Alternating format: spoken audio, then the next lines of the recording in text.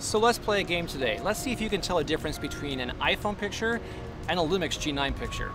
Let's roll.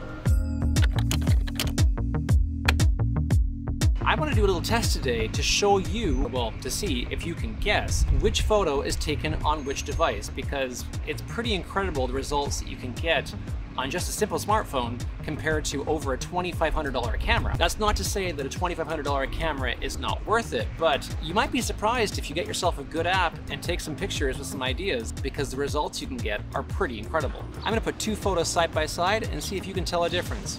Number one.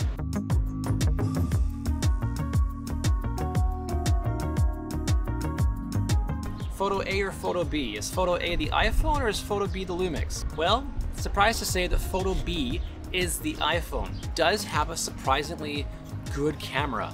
Uh, it uses something called computational photography.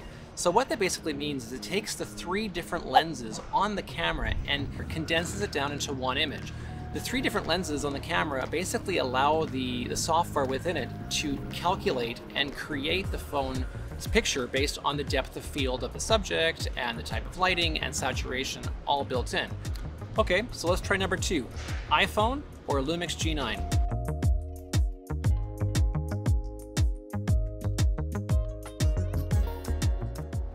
That's right, if you guessed A, you guessed the iPhone. All right, so are you two for two, or are you one for two, or zero for two? Number three, here we go, iPhone or the Lumix?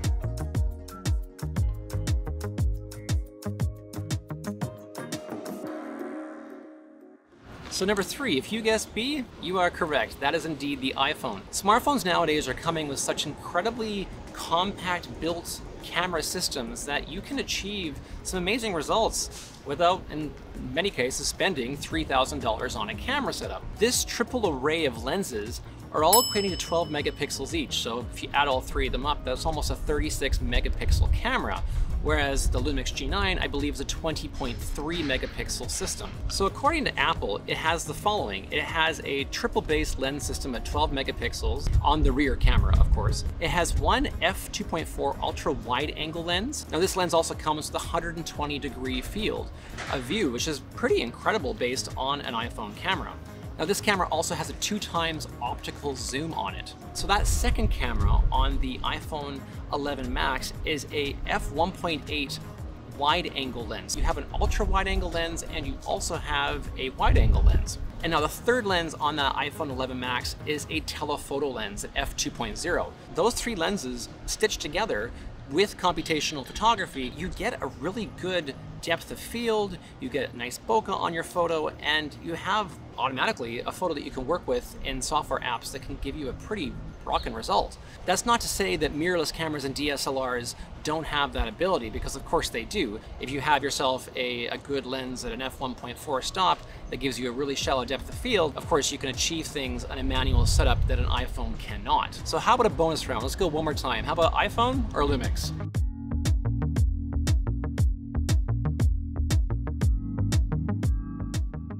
If you guessed A, you guessed the iPhone. That's correct. So it's amazing to think about computational photography now in the realm of these phones that are coming out because it gives you really no excuse to be able to capture what you'd like to have in your photos. Yes, it, it does saturate and over contrast the photo, but you can change that in post-production. However, for all the you know amazing talk we're saying of the iPhone, you really in many ways cannot beat a DSLR or a mirrorless camera. Biggest reason why? The sensor is larger. It just lets in more light. Uh, you have also the ability of being able to attach different lenses to a Lumix G9 in this case, or a DSLR, Canon, Sony, whatever camera you have to achieve the professional effect. You can put speed adapters on it, you can use art lenses, you can use kit lenses, you can use cine lenses. You don't really have that option on an iPhone, save for some of the lenses you can get and attachment add-ons, but they're never the same quality as what you get with a, uh, a mirrorless or DSLR camera. So two reasons why the DSLR or mirrorless cameras will always win in my mind are because of the fact that they have the ability of putting on ND filters uh, directly onto the lens that are larger and wider, and also the fact that they don't depend on software for computational photography. In many cases, you have the photos on a phone, which it is software and it can crash. So if you're using it in an app You might have corrupted files, you might have errors with particular settings on it when you get into more in-depth color grading, whereas on a RAW file coming out of one of these cameras, it's not as, as prevalent you're going to have an issue with a file unless your card corrupts.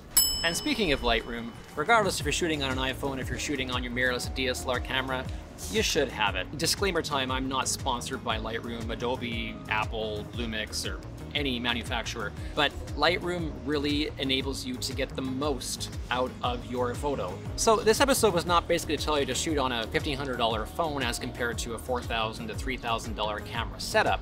It's just basically to tell you two things. If you have an iPhone, you can achieve some pretty amazing results. Practice with the settings that are on it, practice with portrait mode, practice with, with even just photo mode, and really maximize the, the quality you can get out of your photos by taking it into an app and adjusting colors and curves to raise that level. Don't just point and click and then pop it on your social media feed because you can really manipulate your photo to do a whole host of moods that you want to achieve.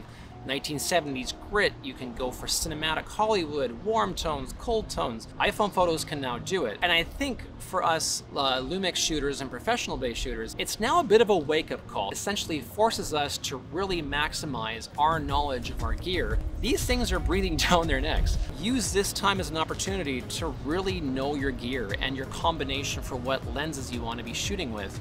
Because it might surprise you when you're checking out social media and to see a photo and think, oh yeah, that's a $7,000 Canon or a $6,000 Sony camera, when in reality, it's the same thing sitting in your back pocket.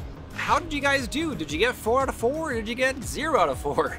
Leave those results below, as well as what app you like to use when you edit your photos on your phone. And uh, please hit that like and subscribe button below so you can keep up to date on all the videos we have coming up on tech and cameras and, and shooting techniques and how to get you the shot you want on the budget you have. So until next time, try taking that smartphone out of your back pocket and using an app to edit those photos.